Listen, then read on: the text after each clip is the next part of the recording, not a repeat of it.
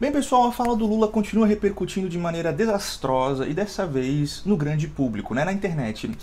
Principalmente no Twitter. Eu vi uh, recentemente no Twitter posts muito alarmantes uh, de pessoas comparando sionismo a nazismo, falando que os sionistas são os novos nazistas e falando até mesmo que Hitler apoiaria o Estado de Israel. Querem ver? Por exemplo, nessa página, Judeu que Escreve disse o seguinte. Os antissemitas se tornarão os nossos amigos mais confiáveis, os países antissemitas os nossos aliados. Frase dita por Theodor Herzl, fundador do sionismo político. Eu vou falar de Herzl nesse vídeo, eu vou explicar por que há essa relação de antissemitas com sionistas, tá? Eu vou explicar tudo isso, mas vejam só esse segundo tweet aqui. E mesmo assim o sionismo conseguiu se tornar nazista. Pra tu ver, a maior força antissemita do mundo no momento é das próprias vítimas de movimento antissemita. E Hitler foi a favor de Israel, se tu quiser saber. Bem, depois de ver esses tweets bem preocupantes, né, por causa da idiotice neles e da periculosidade das ideias que falam que sionistas são nazistas e que Hitler apoiaria a existência do Estado de Israel, e ainda que Theodor Herzl, fundador do sionismo político, uh, era amigo e tinha apoio de antissemitas, portanto isso prova de que sionismo é nazista? Bem, eu vou esclarecer toda essa, essa baboseira hoje, tá? Uh, porque realmente tá um inferno, se tu entrar no Twitter tu tem falas antissemitas pra lá e pra cá, é uma, uma loucura, tá? Então eu vou fazer esse vídeo nessa, nessa intenção. E só falando que tudo que eu vou falar aqui, as fontes já estão num artigo que eu escrevi, que está aqui na descrição, tá? No meu Medium. Lá estão todas as fontes, tá lá escrito, escrito bonitinho para você, ok? Então, vamos lá. Bem, vamos então começar com Theodor Herzl né, e o sionismo, né, que se fundou em 1897 como um movimento de sionismo político, né, mas o sionismo ele é muito mais antigo. Ele não começa com Herzl em 1897, não.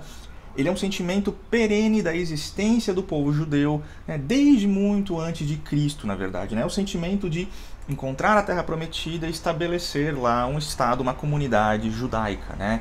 Ah, como judeus têm esse sentimento desde quando eles se, se, sabem como judeus, na verdade. Então, o sionismo não começa com Herzl em 1897, ele começa politicamente ali com Herzl, mas é um sentimento do próprio judaísmo, uma das características essenciais do judaísmo. Tá? Então falar que o sionismo começou no final do século XIX é errado. O sionismo político lá, que é apenas uma continuação prática e sistemática com o objetivo de criar um Estado judeu na Palestina se torna mais concreto com Herzl, certo? Mas agora, essa acusação, digamos assim, de que Herzl tinha uh, aliados e se aliava antissemitas. Bem, isso é verdade, tá? Mas isso não significa que o sionismo é nazista ou o sionismo se, seria antissemita também, né? Que nem o idiota ali no tweet falou. Não, é claro que não. Veja bem, Herzl né, e os outros sionistas, né, não existia um movimento sionista único, né, eram vários movimentos que tinham suas ideias e táticas diferentes, mas no geral Herzl, né, ele, ele buscava apoio de antissemitas para tirar os judeus europeus da Europa né, e levá-los na Palestina e fundar um Estado judeu. Por que, que ele ia buscar ajuda nos antissemitas, que isso né, são seus inimigos, né? Porque antissemitas não gostam de judeus, né? Não gostam, não gostavam do Herzl nesse sentido. Mas por quê? Bem, porque os antissemitas tinham um objetivo em comum com os sionistas. Qual era? Tirar os judeus da Europa. Os, os sionistas queriam ir para a Palestina, queriam que os judeus parassem com a assimilação, é, é, fossem mais assertivos quanto à sua singularidade e saíssem da Europa em direção à Terra Prometida ao Estado judeu. E os antissemitas queriam que os judeus saíssem da Europa então há uma confluência de objetivos bem clara aqui e que, claro, alguém que está buscando estrategicamente criar um Estado judeu na Palestina, como Herzl e movimentos sionistas, obviamente viram a possibilidade de antissemitas os ajudarem nesse objetivo comum que é tirar os, judeus da Europa e levá-los para a Palestina. É claro que os antissemitas não ligavam se os judeus iam fazer um Estado judeu na Palestina. É claro que não. Eles só queriam que eles fossem embora, né? E esse sentimento na Alemanha já era muito arraigado desde o começo do século XIX, com filósofos idealistas como Johann Fichte, né, passando até mesmo por socialistas como Eugene Düring e o Wilhelm Marr, né, esse que cunhou o termo antissemitismo. Né, todos eles queriam que os judeus saíssem da, da, da Europa, principalmente da Alemanha. Né, e o Herzl viu que, que eles poderiam ajudar a convencer ou pressionar o governo a tirar os judeus da Alemanha em direção à Palestina. Viu? Não há nenhuma confluência ideológica nesse sentido. Não é que os sionistas eram antissemitas, ou que os sionistas, por causa disso, né, são os novos nazistas. Não, vamos deixar essa ideia burra de lado. Qual era a única questão aqui? Um pragmatismo num objetivo comum. Os sionistas queriam os judeus, que os judeus saíssem da Europa para criar um Estado judeu na Palestina, enquanto que os antissemitas só queriam que os judeus fossem embora. Então, sim, houve uma possível confluência de objetivos e houve contatos nesse sentido para tentar formular um plano prático né, de diáspora dos judeus para a Terra Prometida. Funcionou? Herzl foi bem sucedido na sua tentativa de aliança com antissemitas? Não, não foi. É, não foi. Ele falhou. Uh, porque muitos antissemitas apoiaram essa, essas, iniciativas de Herzl, né, porque tinham esse objetivo em comum. Mas outros antissemitas não, né? Porque não existiam os antissemitas, existiam grupos, ideologias antissemitas, assim como existia, não existia um movimento político sionista, existiam alguns movimentos sionistas com ideias diferentes, né? Então vamos esclarecer aqui. Não é porque Herzl buscou apoio de antissemitas para um objetivo comum de convencer e tirar os judeus da Europa em direção à Palestina que o sionismo ou Herzl né, fora antissemita e por isso que ele é um novo nazista. Não vamos deixar essa ideia burra e estúpida de lado, ok? Uh, e agora vou falar um pouco sobre o antissemitismo de Hitler para aí chegarmos à questão da Palestina e ver se Hitler realmente apoiaria o Estado de Israel. Olha, primeiramente, né, o, o, antissemitismo de Hitler tem uma fundação social darwinista baseada na ideia de que tanto os judeus quanto os arianos, segundo Hitler, eram raças biologicamente determinadas que tinham certas características que evoluíram durante o longo tempo da evolução das raças humanas. Né? Quais eram as características do ariano e que as tornava a raça superior? Bem, era o seu sentimento altruísta o sentimento de se sacrificar pela sua comunidade, o sentimento de amar o trabalho pelo trabalho e não pelo lucro individual, certo? E Hitler fala que os arianos desenvolveram essas características lá no gélido norte, né? no norte da Europa, nas dificuldades. E, portanto, os, os arianos, por enfrentarem essa dificuldade e passarem por uma seleção natural mais rigorosa, eles criaram um senso de comunidade, né? um amor pelo trabalho e um sentimento altruísta de sacrifício, e portanto eles são a única raça que poderia criar e manter uma civilização, uma cultura e um Estado, certo? Essa seria a superioridade ariana, não seria o intelecto ariano, que ele é mais inteligente, ou porque, só porque ele é loiro, alto ou esbelto. Não, não é isso. A questão é que o ariano seria moralmente e em virtude superior ao judeu por causa das suas capacidades genéticas, né, de, de criar e manter uma cultura, uma civilização e um estado, certo? E qual seria então a característica principal do oponente ariano, a raça judaica? Bem, seria o contrário do ariano. Hitler fala que o judeu ele evoluiu para ser a antítese da raça ariana. O judeu ele evoluiu para ser individualista, egoísta né, e astuto, ou seja, uma raça parasita, uma raça que irá parasitar a criação cultural, econômica e política do ariano. A única razão de existir do judeu para Hitler é parasitar a única raça criadora de culturas, de estados e civilizações, o ariano, certo?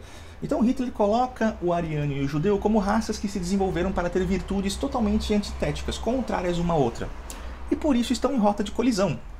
É isso mesmo. Então, para Hitler, a história colocou o judeu e o ariano em rota de colisão inevitável. Teria que haver um choque e teria que ter a eliminação da raça judaica para que a cultura, né, a civilização e os estados poderiam, né, pudessem florescer, que é como o ariano. Se o judeu ganhasse esse embate apocalíptico, né, histórico racial de Hitler, bem, aí a civilização humana estaria perdida, porque se o ariano fosse extinto, não existiria mais raças que poderiam criar e manter culturas, estados e civilizações.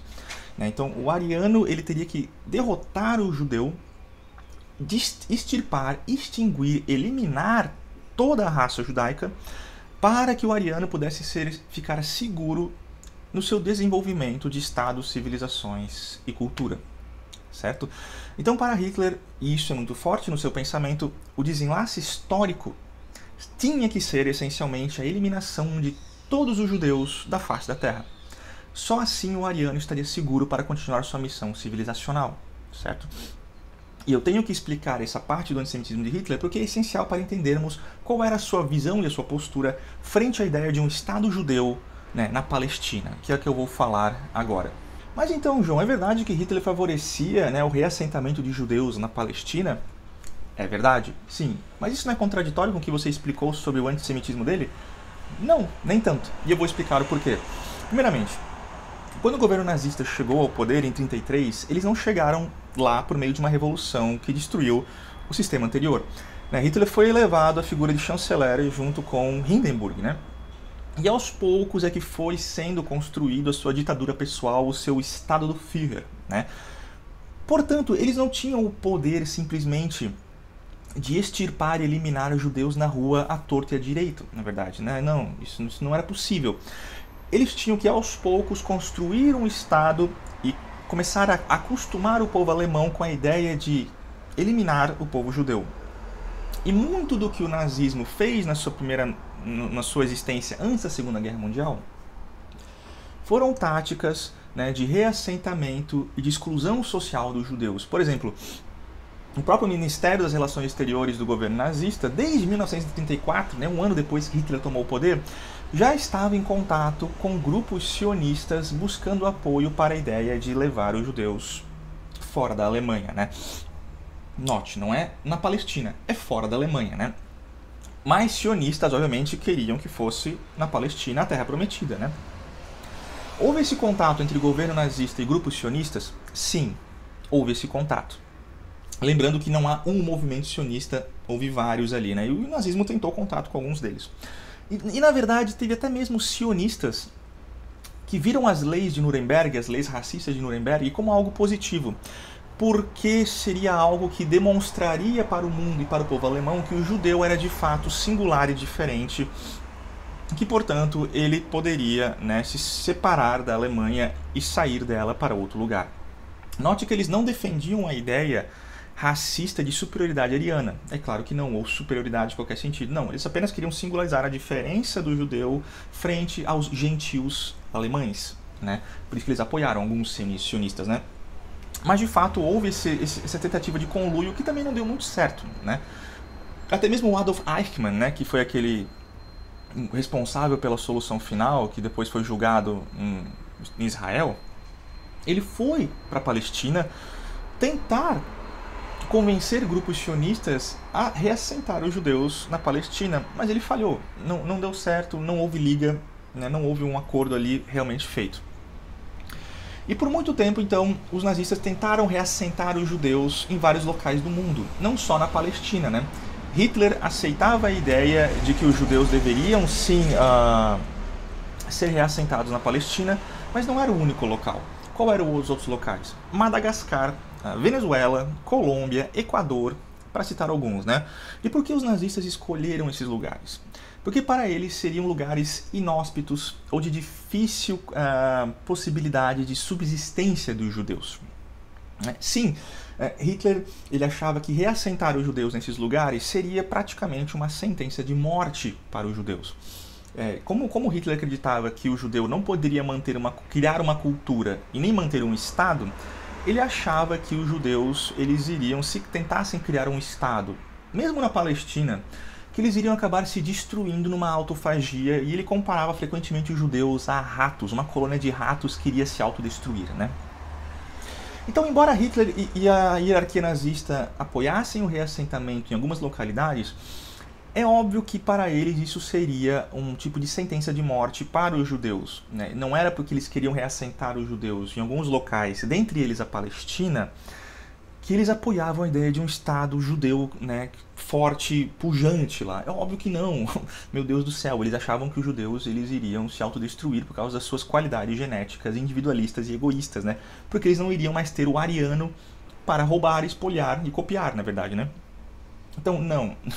Não é porque Hitler apoiava, em alguma medida, o reassentamento dos judeus na Palestina de que ele iria apoiar a existência do Estado de Israel. É óbvio que não. Para ele, o Estado de Israel era fadado ao fracasso por causa da sua ideologia racista, na verdade, né? E agora aquele episódio famoso no qual Hitler, em 1941, se encontra com o Mufti de Jerusalém, né, o Housemini, Housemini, né, não, não, não, lembro o nome árabe dele, mas não vou chutar aqui também, uh, vou falar aqui, tá? Bem, Hitler se encontrou com Mufti e Mufti pediu ajuda para, além de tirar os judeus de lá, tirar também o apoio e a influência britânica da região da Palestina, né? Mas Hitler negou naquele, naquele momento, né? Ele negou, mas o que ele prometeu a Housemini foi o seguinte: ele prometeu que depois que acabasse a Segunda Guerra, depois que a União Soviética tivesse sido destruída, Hitler e os nazistas iriam perseguir e destruir todos os judeus no poderio britânico na Palestina. Isso que ele prometeu ao Hussein naquele famoso encontro, na verdade, né? Então, mesmo que Hitler aceitasse a ideia de reassentar os judeus na Palestina em algum momento, Nunca saiu da cabeça dele, vide a promessa que ele fez ao mufti de Jerusalém, de que deveria destruir todos os judeus, até mesmo na Palestina, depois da Segunda Guerra Mundial, na verdade. Né? Então, por causa da ideologia nazista e racista de Hitler, de que os judeus teriam que ser destruídos da face da terra para que pudessem, né, para que o ariano pudesse continuar a florescer e ter uma cultura e garantir a sobrevivência da civilização humana, nunca, jamais, nenhum nazista, né, e, nem mesmo Hitler, poderia aceitar a existência de um Estado judeu né, que se mantivesse forte e firme por longos períodos de tempo.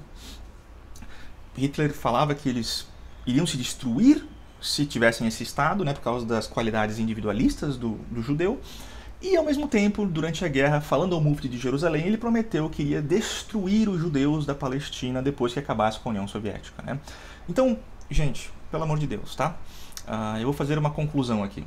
Em conclusão, tá? Em conclusão aqui, Hitler, por causa da sua ideologia, por causa da sua visão racial histórica da superioridade ariana e da necessidade de destruir né, o inimigo racial judaico num apocalipse racial que iria determinar os rumos da civilização humana. Esse sujeito apoiaria a existência do Estado de Israel? É óbvio que não, em nenhum milhão de anos. Na verdade, até mesmo Hitler, como eu falei, prometeu ao Mufti de Jerusalém que iria extirpar os judeus da Palestina depois da Segunda Guerra Mundial. Né? E, e a ideia de que sionistas são nazistas é tão estúpida quanto afirmar que Hitler apoiaria a existência do Estado de Israel. Né? Por quê? Porque sionistas apenas tiveram um conluio pragmático de objetivos comuns com grupos antissemitas, né? Foram grupos sionistas com grupos antissemitas que não representavam os antissemitas ou os sionistas em sua totalidade, tá? Mas é fato que Herzl tentou sim ter um contato com grupos antissemitas por causa desse objetivo comum. Ambos queriam que os judeus saíssem da Europa. Herzl queria que eles fossem para a Palestina. Os antissemitas queriam que eles fossem para qualquer lugar. Eles estavam um pouco se lixando para o destino dos judeus. Só queriam eles fora da Alemanha, da Europa, na verdade, né? a razão pelo qual todos esses conluios não deram em nada já é um sinal de que sionismo não consegue se adaptar direito a antissemitismo por motivos óbvios, mesmo com esse objetivo pragmático né, junto, no caso. Então, para vocês verem que falar que sionistas são nazistas é extremamente estúpido, é um anacronismo e é não saber nada de sionismo, de antissemitismo ou de nazismo, tá? Então, pelo amor de Deus, vamos parar com essa idiotice sem sentido e vamos estudar um pouco, ok? Novamente, as fontes estão aqui nesse artigo que eu escrevi, está aqui na descrição, tá? E por hoje é só, é só isso que eu queria falar sobre esse tema que estava me enchendo o saco, porque o Twitter tá cheio de gente assim agora e é uma loucura, tá? E é, e é isso aí. Valeu!